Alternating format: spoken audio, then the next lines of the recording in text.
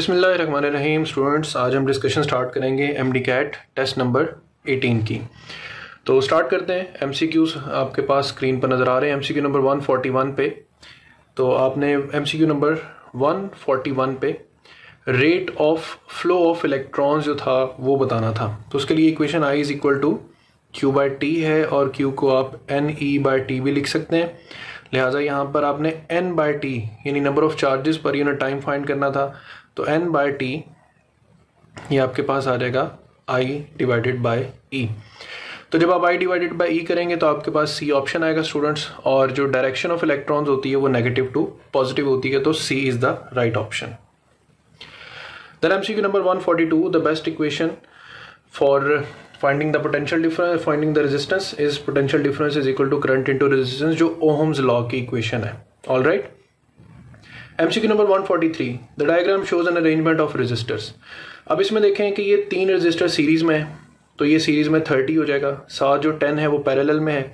तो are equivalent जो है स्टूडेंट्स वो आपके पास प्रोडक्ट यानी 30 बाय 10 और सम 30 प्लस 10 तो ये राउंड अबाउट 7.5 पॉइंट ओम्स के आंसर आएगा। लिहाजा आपका जो आंसर है, वो बीटा ऑप्शन होगा between one and ten MCQ number 144 पे आते हैं A wire has a resistance of 12 ohm, bent to form a circle. The effective resistance between two points of any diameter. तो एम सी क्यू नंबर 144 पे students याद रखें shortcut होता है अगर एक वायर को सर्कल में बेंट किया जाए तो शॉर्टकट है आर बाय फोर तो आर रेजिस्टेंस है 12 डिवाइडेड बाय फोर तो थ्री ओम जो है वो आपके पास आंसर आ जाएगा सेम इसी तरह MCQ 145 two wires when connected in series have equivalent resistance 18 and when connected in parallel has equivalent of 4 ohm calculate the two resistance. अब आपके पास सबसे पहले सीरीज़ में तो दोनों नंबर्स का एडिशन 18 होना चाहिए। तो सिर्फ़ 12 और 6 और 10 और 8 इनका जो है वो आपके पास इक्विवेलेंट 18 बनता है। लेकिन अब इनको पैरेलल में कनेक्ट करने से फोर आंसर आना चाहिए। तो आप जब ऑप्शन ए ट्राई करेंगे पैरेलल में तो सिर्फ़ ये ऑप्शन आपको पैरेलल में फोर आंसर देगी। तो 145 पे अल्फ़ा 146 पे राइट ऑप्शन है सी स्टूडेंट्स अब देखें ए और बी के दरमियान रेजिस्टेंस आपको बतानी है। तो फ़र्स्ट और देखें हर रेजिस्टेंस की वैल्यू सिक्स ओम है। तो six by three one forty six पे six by three plus next network आ जाएगा। टोटल सिक्स रेजिस्टेंस है तो सिक्स बाय सिक्स हो जाएगा। फिर आपके पास सिक्स बाय थ्री हो जाएगा। तो ये आपके पास तीन रजिस्टर्स उसके बाद सीरीज़ में आ जाएँगे। तो two plus one plus two तो टोटल आंसर कितना आ जाएगा? फाइव ओहम्स तो वन फोर्टी सिक्स पे राइट ऑप्शन चार्ली हो जाएगा फाइव ओहम्स इसके बाद M C Q number one forty seven पे आ जाए। तो ऊपर भी तीन सीरीज़ में थ्री आर फिर नीचे भी तीन सीरीज़ थ्री आर ये दोनों पैरेलल में है इस रेजिस्टेंस आर के साथ। तो आपने इसको मज़ीद सिंप्लीफाई करना है तो आर बाय टू यानी थ्री आर बाय टू पढ़ते हैं ना हम कि दो एक जैसे रजिस्टर हो पैरेलल में तो हम आर बाय टू से उसको सॉल्व कर सकते हैं। तो आर बाय टू आ जाएगा। इन दोनों को सॉल्व करेंगे तो स्टूडेंट्स आपके पास डेल्टा राइट ऑप्शन आना चाहिए फाइव बाय टू आर इसके बाद MCQ number one forty eight पर आ जाए। तो इस नेटवर्क को सॉल्व करना है। एक्सट्रीम राइट से स्टार्ट करना है आपने। Four plus four plus four, ठीक है?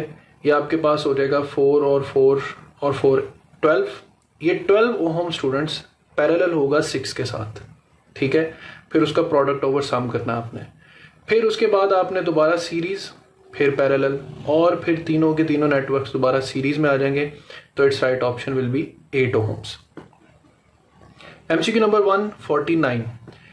याद रखें, हमने पढ़ा था कि अगर तमाम के तमाम रजिस्टर्स एक वीट स्टोन ब्रिज कन्फिग्रेशन में एक जैसे हैं तो उसका राइट ऑप्शन जो है वो आपके पास ऑप्शन सी बनेगा। चार्ली यानी वही सेम आंसर आ जाएगा।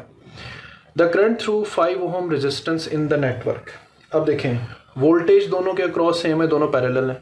तो आपके पास MCQ number 150 I is equal to V over R अब वोल्टेज तो आपके पास टेन ही रहेगा। जो फाइव ओम रजिस्टर है आर लिखेंगे तो टू एम्पेयर आपके पास आंसर आ जाएगा। उसके बाद three resistors of one ohm are join in parallel and three such combination are put in series the resultant is सबसे पहले, तीन रजिस्टर्स हैं पैरेलल में और फिर ऐसे टोटल तीन नेटवर्क हैं, जिन्हें आपस में सीरीज़ में लगाया हुआ है। ऑल राइट तो अब देखें, इसका बनेगा वन बाय थ्री ये भी वन बाय थ्री ये भी वन बाय थ्री फिर तीनों को ऐड कर देंगे तो थ्री बाय थ्री आपके पास वन होम आंसर आ जाएगा. So beta is the right option इसके बाद substance like germanium and silicon ये चूँकि सेमीकंडक्टर्स हैं तो they have negative temperature coefficients उसके बाद M C number one fifty one three resistors each of M C Q one fifty three sorry if the length of wire is doubled and area of cross section is also doubled, then the resistance will automatically unchanged हो जाएगा. 154 पे alpha option energy density की equation one over two E square epsilon naught epsilon R फिर है 155 a parallel plate air capacitor is fully charged and the battery is removed अच्छा battery remove कर दी गई है तो बात फिर वही कॉमन जो लेक्चर के अकॉर्डिंग आ जाती है कि प्लेट्स के अक्रॉस कोई भी चीज़ आप वेरी करेंगे तो सिर्फ़ चार्ज है जो प्लेट्स के ऊपर चेंज नहीं होगा, बाकी सारी चीज़ें चेंज होंगी। एमसीक्यू नंबर 156 में स्टूडेंट्स नॉन होमिक रेजिस्टेंस की एग्जांपल है डायोड ठीक है? इसकी जो कर्व है वो स्ट्रेट लाइन नहीं होती। एमसीक्यू नंबर 157 सेल का ईएमएफ टू वोल्ट्स है करंट फोर एम्पेयर है रेजिस्टेंस फाइंड करनी है तो simple R is equal to V over I से आप इसे फाइंड कर सकते हैं। उसकी वजह क्योंकि सेल शॉर्ट सर्किटेड है, कोई एक्सटर्नल रेजिस्टेंस एग्जिस्ट नहीं करती। फिर M C Q number 158 the sum of all the currents meeting at a common point in a circuit is by kits of first rule if the length of conductor is doubled is cross section area is half then the conductance will be तो सबसे पहले तो resistance की equation होती है रो L over ए तो conductance की equation होती है कंडक्टिविटी एरिया ओवर लेंथ तो अब आप इन पैरामीटर्स को चेंज करेंगे तो आपके पास बीटा जो है वो राइट right ऑप्शन आएगा. आफ्टर दैट 160 पर आपने फॉर्मूला यूज़ करना है R is equal to rho L over A यहाँ से रेजिस्टिविटी आपने फाइंड करनी है। R rho is equal to R A by L अब आपको रेजिस्टेंस गिवन नहीं है कंडक्टेंस गिवन है तो ए ओवर जी एल ये फॉर्मूला अप्लाई करके आप आंसर निकालेंगे तो आपका एल्फा राइट ऑप्शन आएगा। उसके बाद the resistance of 60 watt bulb in 120 volt line is 240 ohms ठीक है? आपको रेजिस्टेंस फाइंड करनी है तो R is equal to V square over P ये फॉर्मूला जो पिछले टेस्ट में भी बहुत ज़्यादा यूज़ हुआ है, उससे आप रेजिस्टेंस फाइंड कर सकते हैं। नेक्स्ट आपके पास students as one rupee per kilowatt hour what is the cost of five hundred watt bulb for five hours तो फाइव बल्ब हर एक की पावर हंड्रेड वॉट है, और आपके पास फाइव आवर्स तक वो चलते हैं तो आपके पास बनेगा ट्वेंटी फाइव हंड्रेड आवर्स ठीक है? ये वॉट आवर्स बनेगा जिसको आप two point five kilowatt hours भी लिख सकते हैं। तो 2.5 और एक किलो वॉट आवर की प्राइस कितनी है? वन रुपीज़ तो 2.5 रुपीज़ जो है वो बिल आ जाएगा। फिर उसे, उसके बाद 163 है the reciprocal of specific resistance specific resistance resistivity को कहते हैं। इसका जो रेसिप्रोकल होता है वो कंडक्टेंस होता है। कंडक्टिविटी होता है। या स्पेसिफिक कंडक्टेंस भी कह सकते हैं। 164 है the smallest resistance obtain by connecting 50 resistors of 1 by 4 ohm each तो स्मॉलेस्ट के लिए कनेक्शन पैरेलल होगा। अब देखें स्मॉलेस्ट के लिए आपने आर बाय एन करना है। तो आर कितना है? वन बाय फोर और एन कितना है? फिफ्टी तो one by two hundred ohms जो है वो इसका राइट right ऑप्शन आ जाएगा। Electric lines of force is about a negative point charge are radially inward ये है पॉइंट चार्ज और ये अलोंग द रेडियस और इनवर्ड आ जाएगा। ठीक है? ये इसका आंसर हो जाएगा। 167 as the electric charge on the surface of a hollow metal sphere increases, the electric field inside in the sphere अब inside the sphere students जो इलेक्ट्रिक फ़ील्ड है, वो हमेशा क्या रहती है? ज़ीरो रहती है। 168 पर electric flux is zero when A is held parallel to E ये एरिया मौजूद हो। और ये इलेक्ट्रिक फ़ील्ड पास कर रही है तो एरिया वेक्टर के साथ जो इलेक्ट्रिक फ़ील्ड का एंगल बनेगा, वो कितना बनेगा? 90 डिग्रीज बनेगा। तो इस केस में फ्लक्स ज़ीरो हो जाएगा। 169 पे रिलेटिव परमिटिविटी का कोई यूनिट नहीं होता।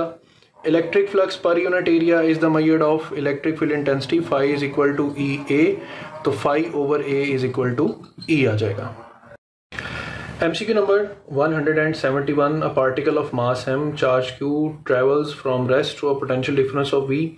Its final energy तो energy का जो formula है q del v, उसके according q v जो है वो आपके पास आंसर आ जाएगा।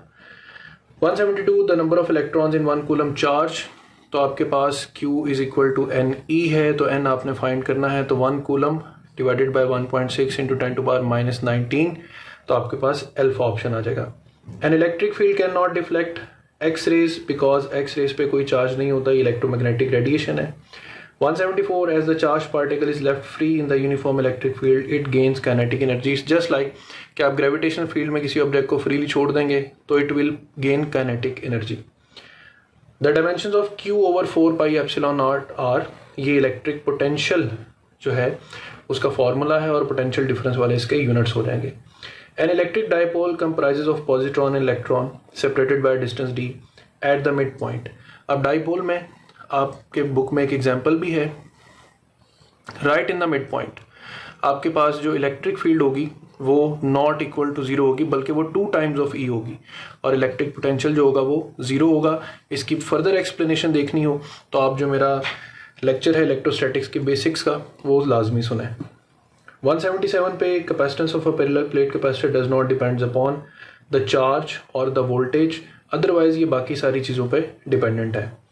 Q number 178 electric field between two oppositely charge plates of infinite extent ये बड़ा अहम कॉन्सेप्ट है। कई दफ़ा जो है कंसिडर हो चुका है। याद रखें, एक सिंगल पॉइंट चार्ज है ना तो उससे वे जाएँगे तो electric field inversely related to R square है? लेकिन अगर आपके पास पॉजिटिव और नेगेटिव प्लेट्स हैं यूनिफॉर्म तो उनके दरमियान electric field throughout from positive to negative ये क्या रहेगी? यूनिफॉर्म रहेगी। 179 पे if the resistor R one and R two connected in parallel then the equivalent resistance is simple product over sum delta option और 180 पर if the resistor of two ohm 4 ohm are connected in parallel. There is uh, resistance वही ऊपर formula given है product over sum तो four multiply by two divided by four plus two तो 1.33 ohm will be the right option तो अगर ये method of discussion आपको पहले से बेहतर लगा हो तो भी अपने कमेंट बताइएगा। अगर इसको चेंज करना पड़े तो भी मेरे साथ शेयर कीजिएगा।